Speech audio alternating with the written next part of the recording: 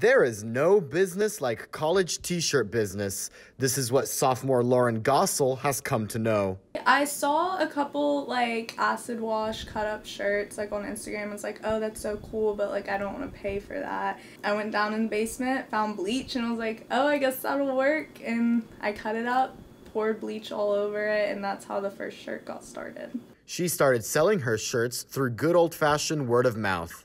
I, I gave it to my best friend at Auburn. All her friends were like, wait, can you make me one? Okay, I guess I can make money off this and actually start a thing. But to get to the next level, she needed the help of something a little more modern. Now, in our day, like a lot of people use Instagram as a way of promotion and starting businesses. So I was like, why not? Behind this small student run business is a big mission. So my sister, her name is Morgan. She's 15 years old. She has called mitochondrial disease. It affects the mitochondria, which is the powerhouse of the cell, gives you energy, and she just doesn't function like a normal child. So she's always going to be t- dependent on me or my parents. The United Mitochondrial Disease Foundation is where I will be donating part of the proceeds in her name in her honor. So, yeah. Starting off comes with a small size of nervousness, but the reward comes in extra large.